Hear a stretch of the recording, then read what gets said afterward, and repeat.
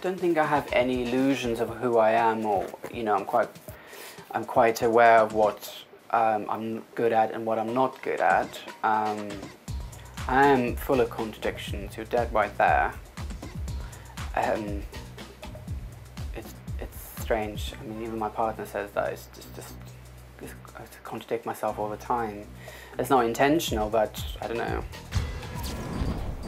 Performance definitely can be devastating and can be just wonderful, uplifting, whatever word you want to use. Devastating,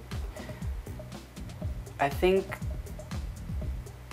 because it's so personal and you're putting all your personal energy into it, I think a lot of people don't realize how depleted artists become and they need a lot of time to recuperate. I mean, I certainly do.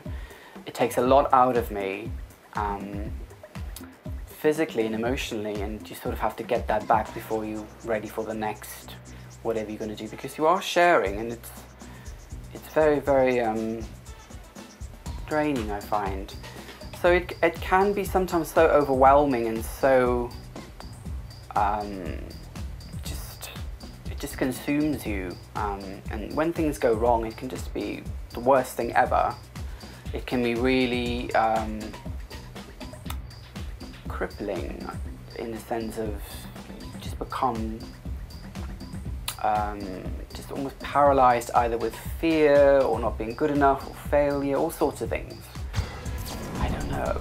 If you, if you, if you decide to be an artist, whatever you decide to do, you need, there's something you need inside of you to, to, to follow that part. It's not for everyone and it's, it's, it's, it's a very emotional, um,